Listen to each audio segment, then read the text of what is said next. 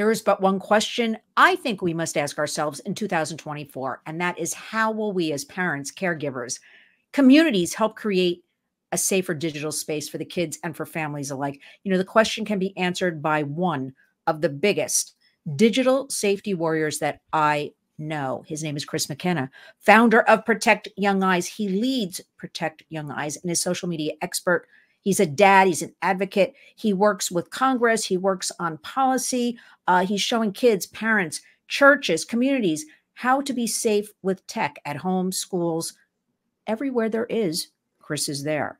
Uh, you know, he describes himself as a man with or somebody describes you, Chris, as a man with never ending energy. And I'm going to attest to that because Chris is truly uh, one of the few people I can say is infectious in this whole movement of protection that empowers me as a warrior to spread the information, to to be uplifted on a daily basis, to continue down this path, which is not easy. But enough of my talk because I know all of you, we want to hear from uh, Chris directly. The website, protectyoungeyes.com. Write that down, put it in your phone, memorize it, whatever you do, protectyoungeyes.com. One stop shopping.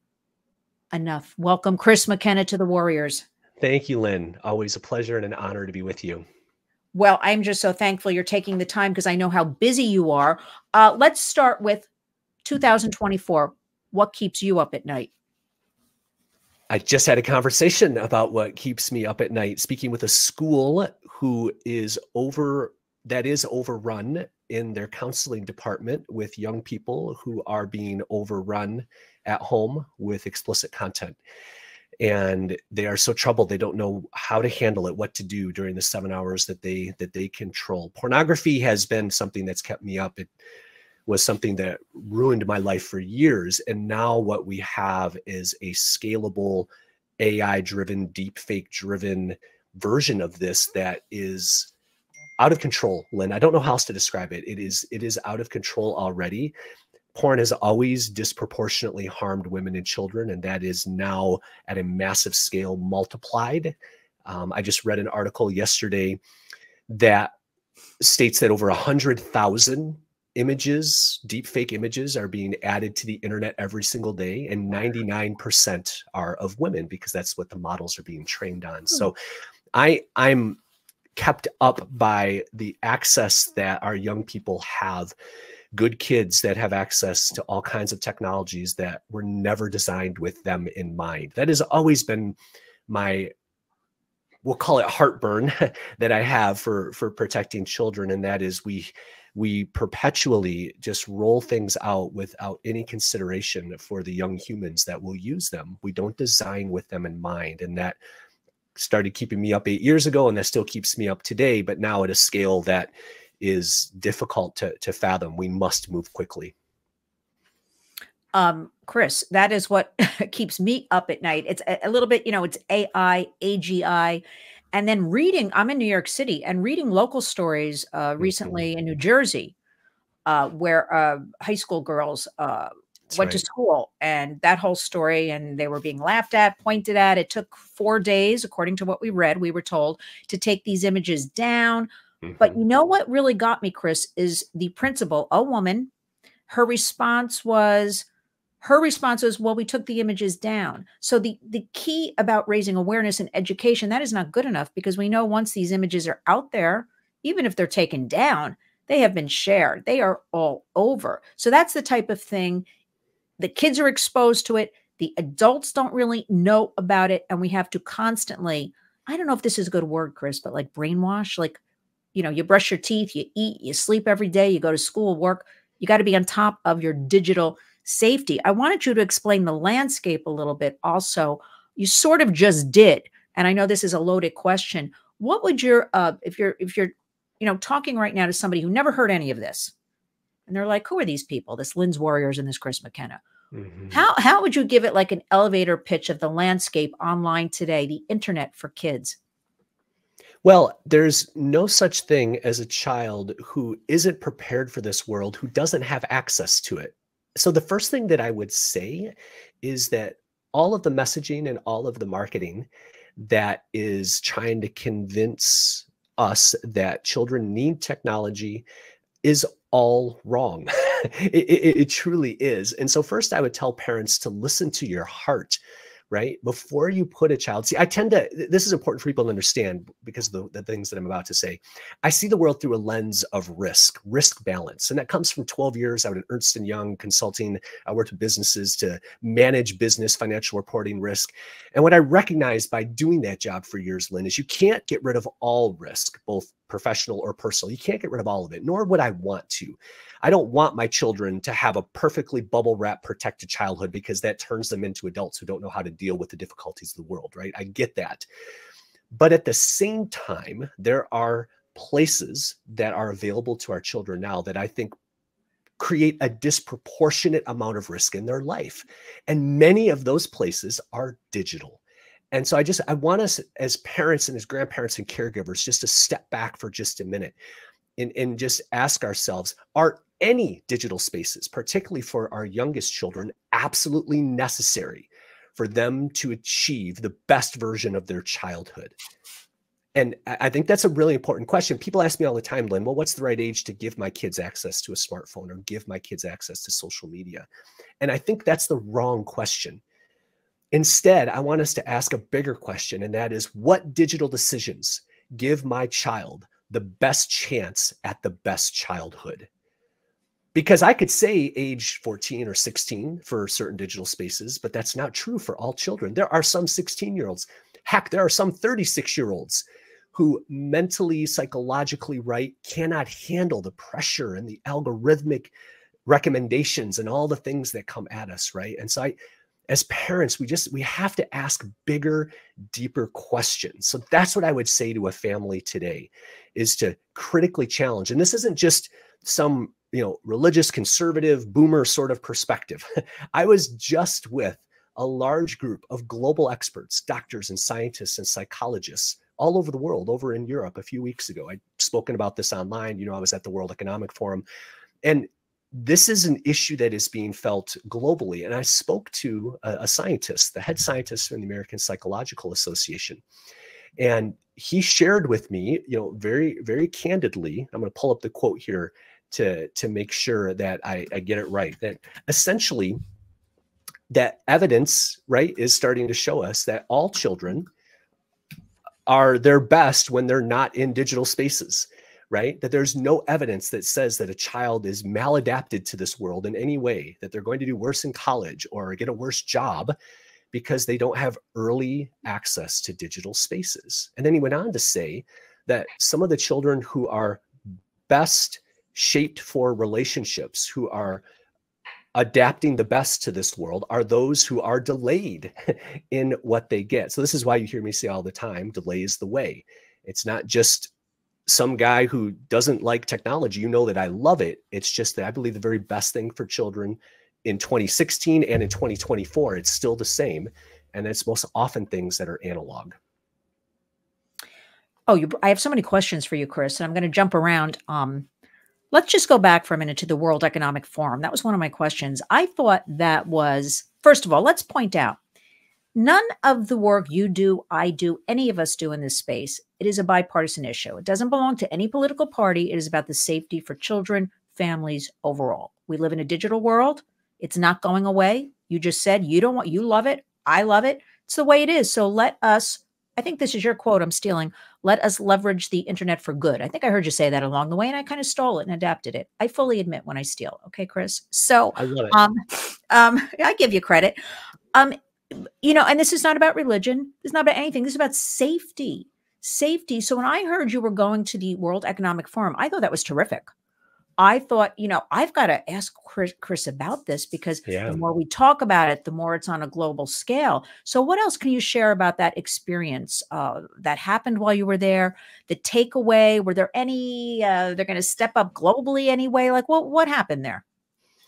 Well, we went in exact opposition to many of the things and messages that were going on there. Right, as you walked up and down in Davos, there the the promenade everything was AI, AI house, every business, whether it was, you know, Deloitte or Salesforce or whoever it was, right? Is they have all their locations, right? Where they're having meetings all during the week. Everything was about AI.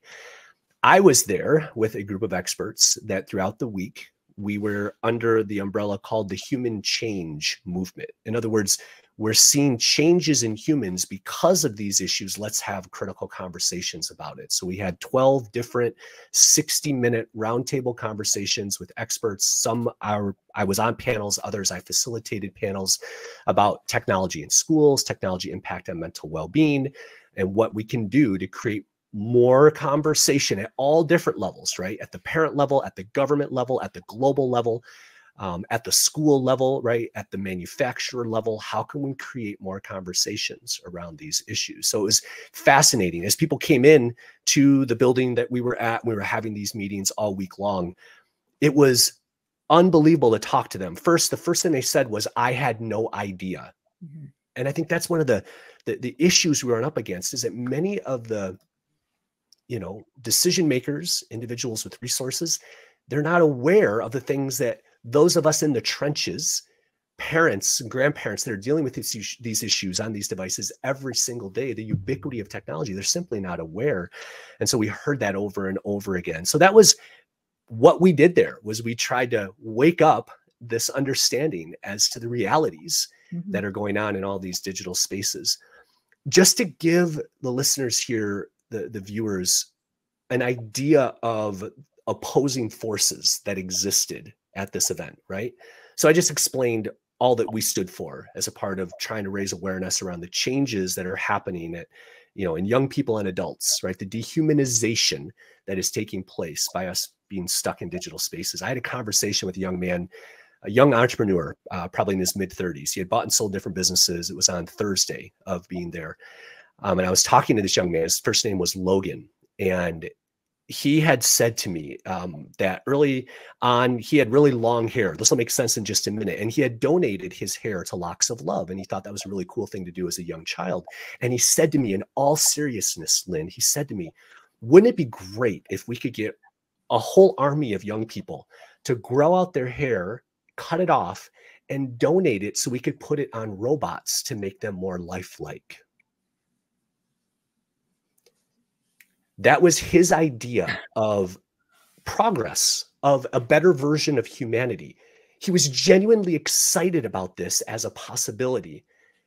All the while, I'm terrified having this conversation with him, imagining that as a better version of us, right? So that's just one micro example of the kinds of opposing voices that are out there that we have to speak loudly if we want the world to understand what's really going on.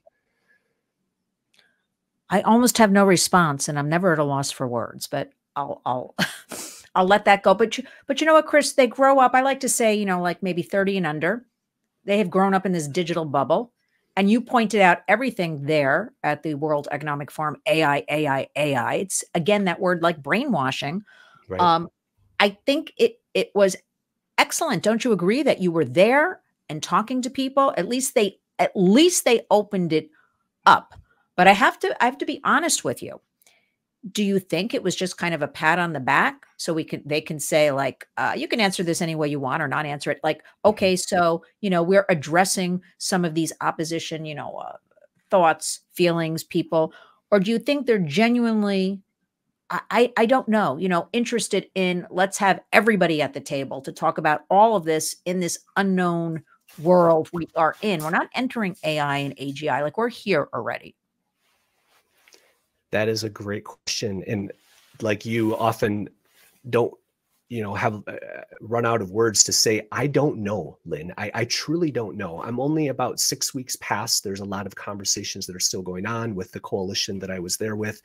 We're trying to create, you know, a, a larger coalition of influencers and uh, not what not the way we typically think about, but those who have influence, right, researchers and others to try to create more movement here um, we tend to think that most of the most effective change here is going to happen from the grassroots, the ground up. Mm-hmm. Many of the individuals listening to this, right? You think back to the MADD days, Mothers Against Drunk Driving. In fact, I just received an article today that was speaking about MAMA, the Mothers Against Media Addiction group that kind of organically started out of Tristan Harris's Center for Humane mm-hmm. Technology that is now growing in prominence, right? actually led by a mom who's a former Google ethicist who uh, seeing this, you know, going on. So I think we need pressure from both sides of this.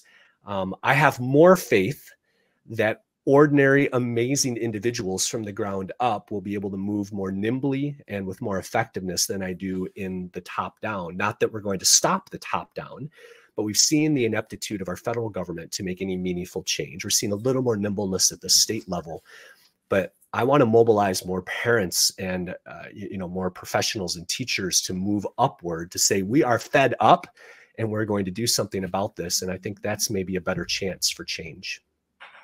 I mean, I I see this. This is my opinion, Chris. That's where the change can happen. You know, where there's no really red tape at that community level in the home, right. the community, and let it snowball from there. At least at the Warriors, we work that way because that's where we, right. you know, we, we have the thinking instead of shutting down because people report this. They probably tell you all the time, Chris. They're so overwhelmed they can't and I get a lot of grandparents and they're like, we can't, yeah. we don't know what to do. We're overwhelmed. My son or daughter doesn't listen about my granddaughter or grandson. I don't want anybody to close that door, shut their eyes, shut the door. We want to be able to make it easy and just give them a couple of easy tools, you know, just something easy to start with. That is my biggest fear. You know, uh, um, they just shut down because it's easier to do than talk about all of this. Um, but we're not allowing that on our watch, are we? No um, well, I'm, I'm still going to say I, ha- I have hope. I have hope. That is where the pressure, getting the coalitions together, getting more parents involved, getting the teachers involved. Uh, That's right. You know, and getting groups just in the community involved, and definitely places of worship. They have to get involved. All of us together can. You know, our goal is one person a day, one child, one person, one discussion like we're having right now. Everybody can do one thing a day. That's what we do. So let me ask you, let me, let me now switch over to so you're a dad, and how do you handle all of this? Um, I mean, the kids see you working on this, they hear you talking, they, um, they see you traveling because I don't know. I saw your itinerary. You've got 500 million churches and schools and organizations you're going to. I do not exaggerate to anybody listening. and we're going to have all your information in the body of this video. Um, what what happens with them? Do they ever ask questions, or do you, do you and your wife have to facilitate it, or is it just yeah. like in them because they hear you all the time? What goes on in your household? You want to share? Yeah, yeah, yeah, yeah. I think a little bit of all of that. So for those watching, um, I have a daughter who is in college, a freshman in college, and then I have three middle school boys. So pray for us as we come to mind. I have a, a sixth, seventh, and an eighth grader. Um, I have a set of twins in there who are in different grades in seventh and eighth. I have a son with Down syndrome. So I've got all kinds of different fun things going on uh, among four children, and they are immersed in it. I am unapologetic about including them in my conversations, listening in. If you could see the rest of my office here, I intentionally have a couch in my office. I intentionally have a stand with all of our devices that's here in my office. They have to come in here. They have to listen sometimes to what I'm saying. They have to sit on the couch and play the switch or search whatever they want to on the Chromebook here while I'm on Zoom calls. I truly want them immersed in the words, the culture, the phrases that are important to Andrea and I in our home. And that's a word that I want everybody to think about. It's not just control. I actually can't stand the phrase parental controls. I mean, you think about the 14 or mm-hmm. 15 year old version of you, Lynn, or myself, and imagine your parents coming to you and saying, I've got something great for your teenage years. Do you know what it's called? It's called parental controls. Right? Horrible, right? No teen wants that. You wouldn't have wanted it either. So I guess that's the first thing as parents to remember empathy, empathy. You wouldn't have wanted these kinds of things either. Okay. So the 14 year old version of you would have reacted just the same. But where I was going with that is yes, we need some control, but it really is important to have a family culture around this and look for opportunities through words and through actions to communicate that culture. A real tangible example of that some who follow us on social media will remember this video that I showed. My 14 year old son, Cole, had friends over to spend the night two weeks ago on Friday. One of his friends brought over an Xbox. An Xbox not only plays games, but it connects to the internet so they can get into their online Microsoft accounts and download other games. Cole, of course, knows our Wi Fi password. So when his friend wanted to connect his Xbox to our router, Cole gave him our Wi Fi password we have a Gryphon router, which allows me to identify everything that's attached to our home network. My network did not recognize this new device. So I got a notification on my phone telling me that new device, do you want to let it in? I said yes. I have a kid's profile for all friends who come to our house that I attached it to that profile that has certain filtering attached to it. That's the control part. Then I got to walk downstairs and say, hey, fellas, here's what just happened. Thank you for attaching to our Wi Fi. I got a notification. I let you in. It's now being filtered. I can see what's going on. If you guys tonight, while playing games, I, I want you to have fun, but if anything happens that bothers you, that's weird, that you just go, whoa, come and tell me. It's no big deal. Have fun. And then I walked back upstairs. That's the culture part of it. That's letting them know that I'm safe. It's letting them know I'm involved. One of the most effective deterrents of bad behavior is simply the knowledge that another human is involved in what you're doing online. Accountability does that. It's what saved me from pornography, accountability through a service like Covenant Eyes, because other humans were now involved in my life and that involvement, that relationship, that connection is what draws us into a more honorable way of living. And that's just something I think that gets overlooked. We want to set the toggle, we want to set the switch, we want to subscribe to the software, but there's no such thing as set it and forget it in the digital age. You've got to dive into that relational side. And I actually think that's more effective yes. than any parental control that you could ever buy. Absolutely. No isolation. That's the way I look at it. You know, more talking about it, more openness and honesty with the kids. The kids are so smart. I don't have to tell you, Chris, all kids today, that um, we have to kind of get on their level and just relate. What do they, as you travel the country and you speak about digital safety and all the issues surrounding all of this, what do the kids relay to you? Uh, what what do they say? What are they looking for? What are they feeling? What do they think is wrong? Uh, tell us about that. Yeah, one of the phrases that I've enjoyed using recently, um, especially with the middle schoolers. So just last week, I was um, at a school over in, in Utah and spoke to grades six through eight. And there was a study that came out that said that in just the year 2023, Lynn, $11 billion was made in advertising yes. by apps like YouTube and others on children right? So I put this big number up on the screen that says 11 billion. And I say, did any of you get a check from YouTube for Christmas thanking you for your time and attention last year? Like, no. Did any of you pay when you downloaded Snapchat or Instagram or TikTok? Like, no, it was free. I said, well, that means you're the product, number one. And that means all of you are unpaid child labor. How does that make you feel? And they just sort of sit there for a minute and they're like, I, I, I could see very vividly one boy that was sitting off to my right and he just went, like that was the action he made while while sitting there and good I think those are moments where you're just informing them of what is actually going on. And then they get a little indignant. They're like, well, that's not right. Yeah, you're you're right. That's not right. And so as we say to them, if we don't decide intentionally how to use our technology, then it will decide how to use us.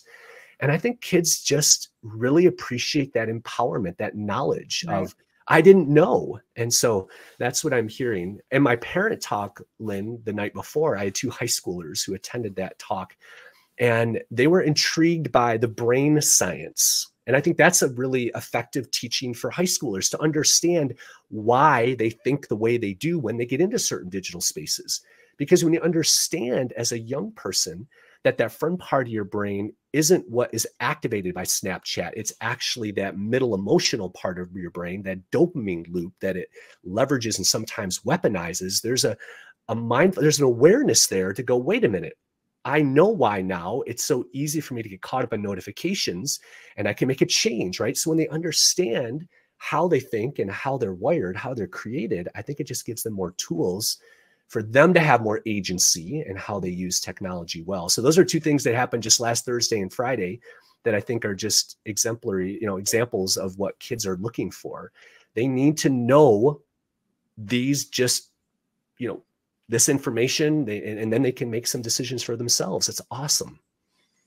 I think it's so if you just tell kids, you're the product. They're making money off of you, and you're not getting paid. That's it. I think that's right. That's what kids could could relate to. What do you mean we're the product? We're not making money. What?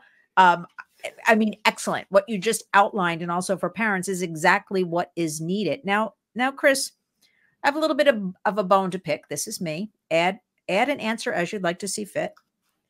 Our 118th Congress. Now, we're ever so slightly getting getting a little closer to having Kids Online Safety Act perhaps yeah. brought to the floor for a vote. Um, they're a little slow on everything, but I again am feeling very hopeful that uh, this this is perhaps going someplace. What can you share with us about all of this?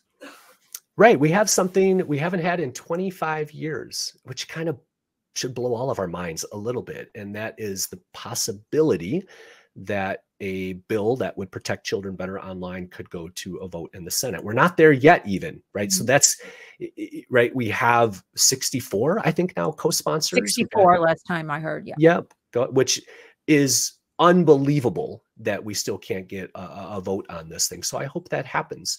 This bill would be monumental. It would force really good things to happen in the name of updating what are egregiously out of date federal laws. Nothing really since COPPA in 1998, which inadvertently made all of us believe that children are digital adults at age 13. That was never its intent, but that's what's happened here. So I am hopeful. Um, we've got to get through noise here related to the election and other things, but I'm hopeful that we will finally see something that will get voted out of the Senate. Now, what happens in the House is a whole nother ball of wax. That that's where I believe activating warriors like you're in touch with and others, we have truly we, we need the will of the people to be heard on this. Um, and that is marching, that is going, that is meeting. I think, and, and you know this, I think we, the, you know, in general, individuals and parents that I talk to underestimate their ability to just go show up and have meetings with our legislators. They don't like, they don't understand they can do it. anybody right now that's watching this, you could hop on a plane to DC tomorrow and you could walk to your senator or representative's office and if there's a chief of staff or somebody there they'll meet with you like you can literally have those conversations as you walk around dc and those are the kinds of things i just want to rise up uh, you know a whole army of warriors to go and to have these kinds of conversations to again to make it happen. But also chris we can empower people to people say i can't make it to washington. At you know know who represents you you know house.gov senate.gov right. go on the local level encourage call email uh, if you're so inclined write a letter and put a stamp on it just deluge them with this and they have to address it because we have to urge everybody that boots on the ground you have to you can get involved you have to get involved. And i for one must selfishly say with chuck schumer that i harassed very appropriately. Hmm. finally that this is why it gives me hope you know finally made a little movement on the new york end. Um but again we need you warriors out there again, I'll right. have all this information for everybody in the body of the video. We have to keep up the pressure. We have to keep on this and we can't let it go. The job is not done yet. Now, let me ask you, what are some, uh, give us some recommendations for what do you think, what are good apps or platforms you think kids should be on? Or um, do you have any recommendations or you don't like to actually do that because there's yeah, so, here, you know, what are the, the sure. safe, the safe things, sort of safe? Right. So what the, the approach we tend to take, Lynn, you know this, you have been such an amazing advocate, which oh, I just want to thank, thank, thank publicly for the, oh, the support. You, we going back to the risk, right? Every home and every child is different. There's different variables, different life experience, different parenting styles. We present a ridiculous amount of information so that parents can make a balanced decision. There are some 15 year olds who might be able to handle the TikTok algorithm there are some 18 year olds who maybe can't. So, the overall thing that I would say is for parents to do your research and then use whatever you're going to allow your children to use for seven straight days as a child would use it before they would. That's our seven day rule. Go make a child's account, go interact at the age of that account of what child is going to be to see what is in say the discover section of snapchat or what's recommended for followers or accounts to follow on instagram or tiktok live in it immerse yourself in it so that you can understand because they you know your child best what they can and can't handle I challenge teachers when I do PD sessions. I'll do half and full day retreats with schools and districts and dioceses and I'll ask, okay, who are the junior and senior high teachers? And you know, they'll all raise their hand. And I'll say, keep your hand up if you have on your phone right now any one of Snapchat, Instagram, or TikTok. And most of the hands go down. And then I call them out a little bit and say, I think that's part of the problem. I want you to download it and use it. You don't need to go home and make dorky videos, but I want you to download it and use it to be a part of it so you have some understanding as to why they respond and use these apps the way that they do. And that's the same exact thing that I want parents to do. Different children respond differently to the algorithm in TikTok. Different kids respond differently to that dopamine loop that gets activated so readily through constant notifications and Snapchat. Some kids just can't handle it right? Certain kids can and can't handle seeing a millisecond of perfectly polished perfection on Instagram from their peers. These are things that each parent has to weigh based on their knowledge of their child to make that risk based decision for their childhood. ProtectYoungEyes.com is the website. Chris, you know, you have some wonderful blogs. I'm always saying, you know, if you don't know how to use the uh, whatever, if it's an Apple iPhone, with all those steps, you know, go to protectyoungeyes.com. The information is there. It's laid out. Chris, you can email Chris. You can find out what the team is doing. You're available to go across the country, talk about all That's of right. these issues. Um, I mean, I can't thank you enough. I, I know I'm always gushing with you, Chris, but I can't help myself. This is the way I feel. I want to, you know, time is always of the essence, but um, and we'll be continuing as we go along. What do you want to leave? People with listening? If you had one final thought, kind of a loaded question, what do you want them to know, leave them with? We just don't want them to close their eyes or walk away, close that door. We want to keep yeah. it this. We need warriors. We need right. community creates change, which is our has, hashtag. Yours is delay is the way, one of your hashtags. What do you want them to know?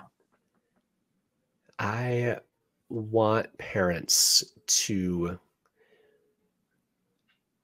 I, I want to embrace certain mindsets, right? So one that I'll I'll leave us with here is that most of the time when our children are in a digital space and something happens, most of the time, Lynn, that's not their fault. And I really truly want us to to to think about that, what that means the one takeaway that I want parents to walk away from, we talk about a lot of practical, tactical routers, controls, all this kinds of stuff in our presentations. But if parents forget some of that, the one thing I want them to walk away with is a deep understanding for how difficult it is to grow up today. And that every single time they discover their child or a child in general who is making a poor digital choice, to approach that child with empathy and understanding with the thought in your head whatever they've done, it's probably not their fault. And I think we just have a better chance of encouraging them. Like, what if, for every parent watching this, what if the next time you discover that your son or daughter is in trouble, has done something, or something's happened to them online? What if at the end of that conversation with them, you actually had more trust and more care and more connection with your child at the end of that conversation. Those are some of the soft parts of being a digital parent that I think get often overlooked. It's not the software, it's not the routers, it's not the toggles. It's these kinds of conversations, these sort of look them in the eye moments and let them know that nothing they could do on that device would ever change the way we feel about them so that when it happens to them, they come running to us instead of away from us. Because in isolation, one on one with technology, whether you're 4, 14, or 40, will all fall. So that's what I would say. It's a mindset. It sounds simple, but it's a really, really important shift. Not that simple because I have a little lump in my throat after that, Chris. I I I feel so passionate, like I could cry because we just have to share, you know, the humanity part. The okay, you did something wrong. That's okay we're going to fix it. There's a solution. Right. And let the kids come to us no matter what. Because I've had a lot of parents tell me they delete things, they yell at the kids. I'm like, no, no, no, no. You know, uh, again, there's parental autonomy, but we have to be very, uh, again, I, I steal from you all the time. Your excellent information. We have to put ourselves, you know, in their shoes, the kids, right. yeah. and really think about all of this. I, of course, also think you should expand the company because everything you're saying I know you only have a certain amount of hours in the day, but the adults and kids are watching also everything the adults do because I have a lot of parents say the kids aren't paying it. They don't, they don't know what I'm doing when I, you know, see what they're doing online, but that's a whole nother program, you know, for another day. The kids, the kids are smart and they're watching and we have to be very protective of them. Well, Chris McKenna, the public, how do you want them to help you? What can they do besides sharing your information? Uh, can they volunteer with you? What would you like the public to do to help you directly? Oh, that's excellent. Thank you. We'd love to come and visit. Um, one of the things that we will be talking more about in, in the coming months is this advocacy, getting movement from parents and grandparents to help us communicate with their state and local legislators to move things. So look for more from what will soon be the Protect Young Eyes Foundation so that we can really make some waves in this space on the advocacy side. As I let others on my team run with the presentations, I hope to be focusing more to make some of those changes, Lynn. So more just be on a lookout for that. And when you see it, jump in. I'd love the help. Well, we at the Warriors will help you, Chris McKenna, with anything possible. We love you. Your information is so good. It's so empowering, it's engaging, and helping children and helping families across the United States. ProtectYoungEyes.com is the website. I'm urging all of you go there. Lots of great free information. We like to give out, you know, easy resources, as much free as we possibly can. Chris McKenna, you are certainly a dear colleague, and I'm going to call you friend. And I'm also going to say, our great digital warrior, thank you for spending time with us today. We will, I'm sure, talk again soon. Thank you, Lynn.